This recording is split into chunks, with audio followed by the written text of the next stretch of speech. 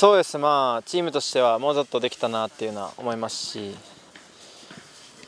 えー、まあ個人としても結果はそこまで出せなかったんで、まあ、すごく、まあ、体的にはきつかったですけど、まあ、もうちょっと頑張りたかったなと思います。徐々に入るようになってすごくやっぱホームでは心強かったですし、まあ、アウェーでも本当にたくさんの人が来てくれてたんで、まあ、やっぱ全然無観客とは全く別物だなと思いますしすごく、まあ、やってて楽しかったなと思います。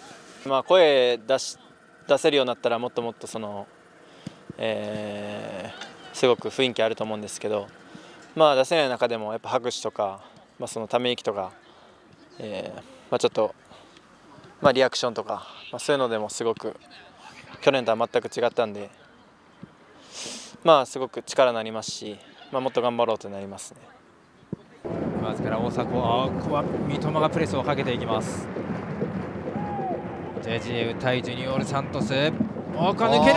さあジュニオール・サントス行く。ジュニオール・サントス中浅野がいる。ここは自分でまだ行く自分で持っていってシュートは転がったボントだ。セカンドボール森島ゴールさあフレッテ広島追いつきました。少ないチャンスものにしました広島です。1対1同点。そうですねまあ川崎その時調子良かったですしまあそのチームとしてまあ、先にしてしましてしまったんですけど、まあ、諦めずやっぱああいう、まあ、みんなで守ってでカウンターで点取れたっていうのはすごくでかかったと思うんで、まあ、個人的にもあそこで点取れたのはすごく良かったです。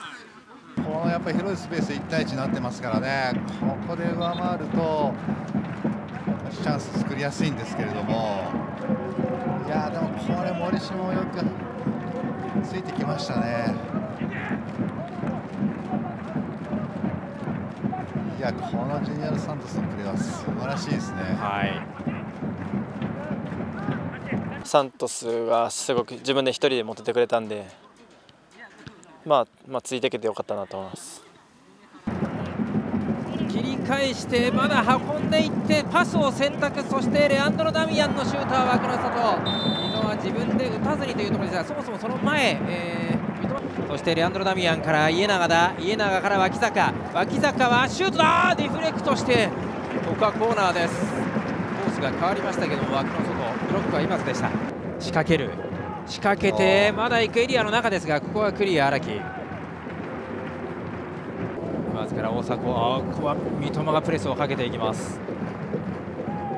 JGA 対ジュニオール・サントスおこ抜けるさあジュニオル・サントス行く。ジュニオル・サントス中浅野がいる。ここは自分でまだ行く。自分で持っていってシュートは転がった。ボントだセカンドボール森島。ゴールインさあフレッテ広島。追いつきました。少ないチャンスものにしました。広島です。1対1同点。